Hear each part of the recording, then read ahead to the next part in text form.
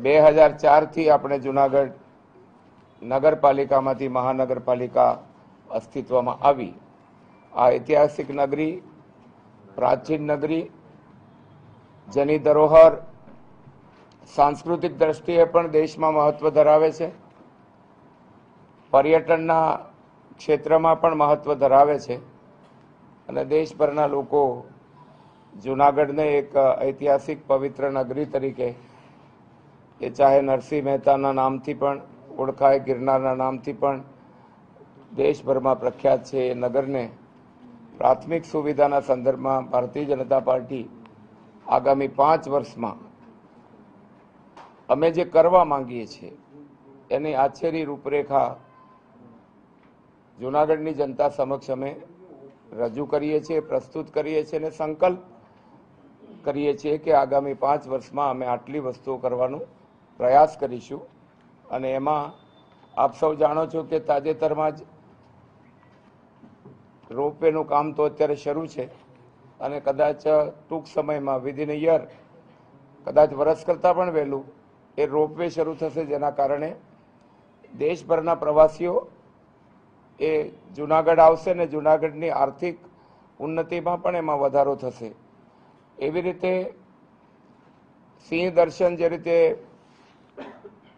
સાસણમાં થાય છે. એવી રીતે આવતા દિવસોમાં જુનાગઢમાં પણ ગિરનારમાં સિંહ દર્શનનું કેન્દ્ર, રાજ્ય અને સાથે સંકલન કરીને જુનાગઢ નગરને પણ પ્રવાસીઓનો ખૂબ સારો લાભ મળે. એવી જ રીતે અહીંયાથી કાળવો પસાર થાય છે. અને એમાં જે રીતે આપણે પ્રદૂષણ મુક્ત ગ્લોબલ જે સમસ્યા છે, એમાં દેશમાં નરેન્દ્રભાઈનું વૈશ્વિક કક્ષાએ જ્યારે આખું આપણે પ્રસ્તુત કર્યું હતું, ત્યારે આખી દુનિયાએ પ્રેઝન્ટેશન નરેન્દ્રભાઈ દ્વારા દુનિયામાં એ રજૂ થયું અને લોકોએ સ્વીકાર કર્યો. તો કાઢવામાં પણ સ્ટ્રોમ વોટરની એક વરસાદી પાણીનો નિકાલ અને સાથે સાથે ડ્રેનેજનો નિકાલ. એની ડબલ લાઇનની વ્યવસ્થા કરીને કાઢવાને સ્વચ્છ બનાવવાનો અમે સંકલ્પ કરીએ છીએ. બીજું અહીંયા એક નાની મોટી મુશ્કેલીઓ ઘણા વખતથી થાય છે. બે ત્રણ સર- સરકારોના વિભાગો એની સાથે સંકલન કરીને એક તો ફાટક મુક્ત. કારણ કે જુનાગઢને સૌથી મોટી સમસ્યા જે આપણે બધા ફેસ કરીએ છીએ, પ્રજાજન પણ ફેસ કરે છે, તો એમાંથી ઓવરબ્રિજ જ્યાં જ્યાં બનાવી શકાય એ બધા બનાવીને કમસે કમ જુનાગઢને ફાટક મુક્ત બનાવીએ. નવો વિકસતો વિસ્તાર છે. જૂનું જુનાગઢ છે, જેને આપણે વોલ્ડ સિટી કહીએ. પરંતુ વોલ્ડ સિટી બહુ નાનું રહી ગયું છે અને બહાર આસપાસમાં ગ્રામીણ વસ્તીનો શહેરી તરફનો જે પ્રવાહ છે, એને કારણે ઝાંઝરડા અને એ બાજુનો વિકાસ, ટીંબાવાડીની આગળનો વિકાસ, તો એમાં પણ અત્યારે ડ્રેનેજના કામોનું આખા શહેરમાં કામ ચાલે છે અને સંપૂર્ણ વ્યવસ્થા ડ્રેનેજની થઈ જાય એ રીતે પણ એક વ્યવસ્થા કરીએ છીએ. અને પાંચ વર્ષમાં લગભગ વિકસિત અત્યારે થયેલા વિસ્તારમાં ડ્રેનેજ સુવિધા મળી જાય, એ પણ અમારી પ્રાથમિક સુવિધા છે. અને એલઈડી તરીકે લગભગ મોટાભાગના વિસ્તારોમાં ઓછું બળતણ થાય, વીજળીની બચત થાય, એ માટે ઉજાલા યોજના જે આખા દેશમાં લાગુ છે, એના ભાગરૂપે જુનાગઢમાં પણ ઘણા વિસ્તારોમાં આપણે એલઈડી લગાવી છે. પરંતુ હજી બાકી રહી ગયેલા વિસ્તારો હશે, ત્યાં પણ એલઈડી લગાવવાનું કામ આપણે પૂરું કરીશું. બીજી એક ટ્રાફિકની સમસ્યાઓ પણ આપણને જોવા મળે છે જુનાગઢમાં. તો જે જે રસ્તાઓનું અત્યારે જેમ આપણે તલેટી તરફના રસ્તાઓ ડબલ લાઇન કર્યા છે, શહેરના અમુક ભાગોના રસ્તાઓ જેટલા પણ પ્રવેશના છે, એ મોટાભાગના ટુ વેઝ થયા છે. તો એવી રીતે શહેરમાં જ્યાં જ્યાં ટ્રાફિકની સમસ્યાઓ નિવારવાની હશે એ પણ કરીશું. બીજું, અહીંયા ખૂબ લોકોનો પ્રવાસ જ્યારે પણ શિવરાત્રિનો મેળો હોય, પરિક્રમા હોય અને ગિરનારને આપણે ઓથોરિટી તરીકે ડેવલપ કર્યું છે ને મિની કુંભ ગયા વખતે માન્ય મુખ્યમંત્રી વિજયભાઈ રૂપાણી પોતે આવ્યા હતા આપણી પરિક્રમામાં. ત્યારે જ એમણે જે કહ્યું હતું કે અમે ગિરનાર ઓથોરિટી બનાવીશું, એ ઓથોરિટીની રચના પણ થઈ ગઈ છે. અને ઓથોરિટીના સદસ્યો ગિરનારની ઓથોરિટી તરીકે અત્યારે કાર્યરત છે જ. આગામી દિવસોમાં બે ત્રણ પ્રશ્નો જે ઉકેલવા જેવા લાગે છે, પીવાના પાણીના જથ્થામાં જે અત્યારે આપણને ઘટ દેખાય છે, એનું નવું સ્ટોરેજ રાજ્ય સરકાર સાથે એ કરીને નવા સ્ટોરેજ તરીકે પાણીની, અને આપ બધા જાણો છો કે સૌરાષ્ટ્ર, ખાસ કરીને દુષ્કાળગ્રસ્ત વિસ્તાર આખું સૌરાષ્ટ્ર છે.